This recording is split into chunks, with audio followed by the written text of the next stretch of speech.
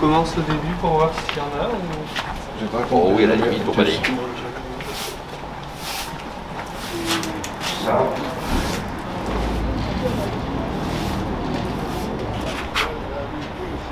Il y en a encore euh, une très belle ici, la Zavas.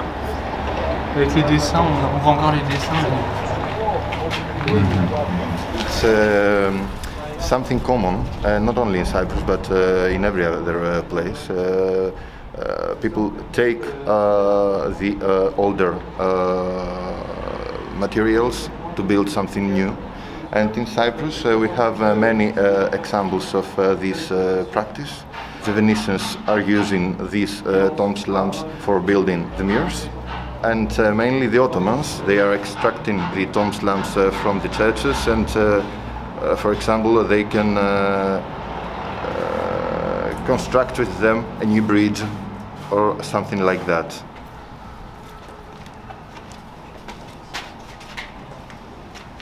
J'ai l'impression qu'il y en a qui sont mises dans l'autre sens. Et là, je sais pas si tu as vu, mais elles sont. J'avais jamais vu ça. Elles sont en, en relief, les lettres. Elles sont pas creusées, elles sont. euh, Ça va intéresser Thierry. 5, 50 mm, la hauteur des lettres longues. 50 50. Et la largeur est la même. 4.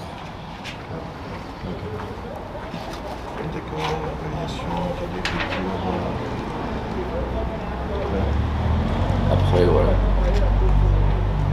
Ça, ça, ça, euh, Bon, on va aller voir après. Je te, je te donne les dimensions. On s'est dit que ce serait bien d'avoir un plan. Parce qu'en fait, il y a une cinquantaine de fragments en tout qui sont en remploi. Et euh, au moins pouvoir identifier où ils se trouvent les uns par rapport aux autres. Donc c'est pas un plan à l'échelle, hein, c'est vraiment un schéma pour se repérer. Et euh, ensuite pouvoir euh, les resituer euh, et faire correspondre le numéro d'inventaire en fait avec des, des cases sur le schéma.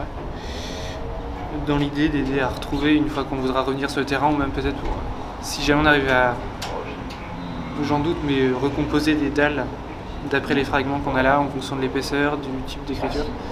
Voilà, ça pourrait être, je pense, assez nécessaire d'avoir des, bah, toute, ce- toute cette documentation. Et puis peut-être qu'après on pourra faire un, un plan euh, un peu plus propre à l'échelle euh, sur lequel resituer les fragments euh, qu'on a pu étudier.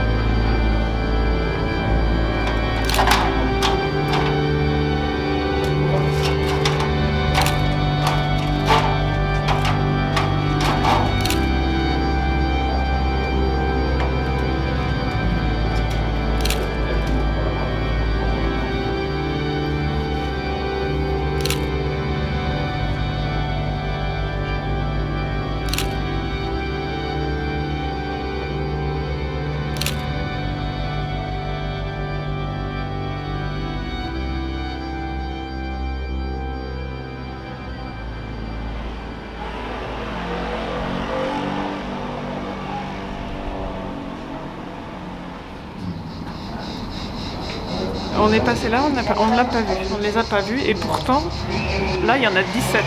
Alors bien cachés, euh, placés euh, à peu près à 1m50, donc on ne voit pas, c'est- à hauteur des yeux mais en même temps on ne voit pas le dessus de la dalle donc on ne repère pas les, lettres euh, inscrites. Mais ça fait partie du, jeu, vous, vous avez vu la découverte, il y a des lieux où on pensait trouver une dizaine d'inscriptions, ben, on n'en trouve plus que trois. Pourtant ils étaient bien identifiés, bien publiés. Et d'autres euh, bah, pour lesquels c'est pas connu, on s'attend à rien ou on s'attend à une et on en trouve 17. Donc ça c'est assez, euh, assez génial. Donc c'était bien que là chacun prenne ses marques, sache remplir la fiche de terrain, comprenne euh, la logique pour après être autonome. Et à l'arnaca on va se répartir très précisément le- les tâches pour, pour être efficace et je pense que ça va marcher.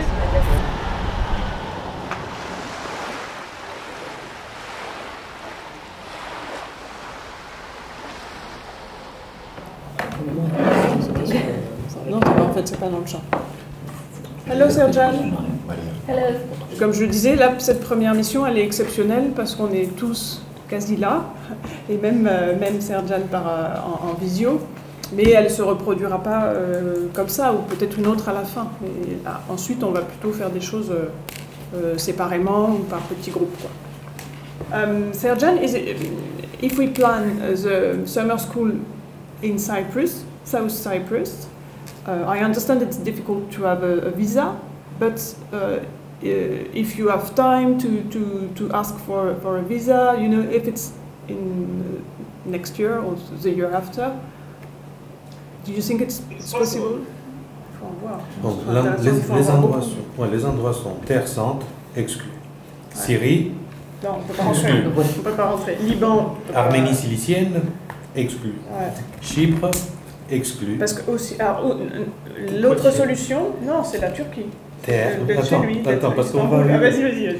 Grèce, peu de matériel, Ouais. inutile, on va se Tout balader inutilement. Tout à fait. Constantinople. Oui, c'est chez lui, c'est nous au- à Ga- à Galata. Ah, pardon, Constantinople, Istanbul. So- so you understand the other solution? If it's not Cyprus, it could be uh, it could be Istanbul. Et après, tu dirais trois personnes pour faire une mission. Trois personnes pour faire une mission, mais il faut bien la réfléchir. Ouais. Mais là, il faut- ça sera la folie parce qu'on devra aller de Athènes, Eubée, Thèbes, Mégare, descendre à Corinthe, euh, faire euh, Argolide, aller à Nélide, aller à Messénie, terminer, prendre l'avion de Kalamata et retourner. Et Ouais, comme ça, la- le problème de la Grèce continentale est résolu. L'année prochaine, les reste îles les îles, qui est le, le grand problème. Ouais. Remplir la base de données, enfin acquérir les données, c'est vraiment le, le niveau premier, premier, mais il faut le faire. Faut être, euh, Et après, c'est évidemment d'étudier, euh, d'étudier ça sous divers, euh, divers angles. On va pas, pas juste remplir la base de données. Évidemment, il faut passer au niveau supérieur, ça c'est très clair. Voilà. Et c'est la fin du projet. Et c'est, ouais, enfin le projet va jusqu'en janvier 2026, mais les deux dernières années, L'idée vraiment qu'on puisse, bah, qu'on ait avant déjà toute la documentation et qu'on puisse recouper aussi avec les autres épigraphies, qu'on voit les aspects de transfert, qu'on voilà, qu'on qu'on soit plus euh, sur des, sur des colloques euh, ouais. scientifiques. euh, 2024, je vais t'apporter pas mal des exemples grecs. ouais. Euh, Serjan, il a déjà pris de l'avance, parce que sa thèse était sur les, toutes les inscriptions euh, euh, génoises de, de Galata, qui était une, une colonie génoise dans Istanbul, dans Constantinople. Donc, il a déjà, euh, il a déjà pas mal travaillé dessus, donc ça va.